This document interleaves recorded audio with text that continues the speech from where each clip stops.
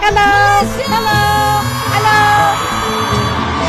Terima kasih kerana anda memilih Koko TV. Koko TV.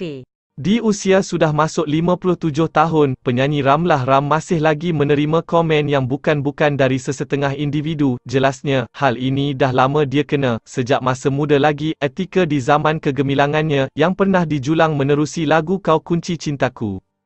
Kalau dulu Ramlah Ram terima komen serta mesej dari surat yang dihantar, kini penyanyi ini menerima komen dari DM di laman Instagram. Walaupun Ramlah Ram tidak mengambil hal ini dengan serius, namun dia tetap jaga privasi sebab tak mahu diganggu dengan lebih teruk.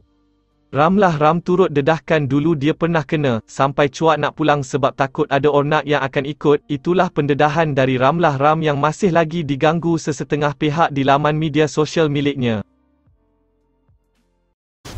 Ya, kejap-kejap. Nak lihat apa seterusnya? Subscribe dulu, okey? Okey, sedikit ya.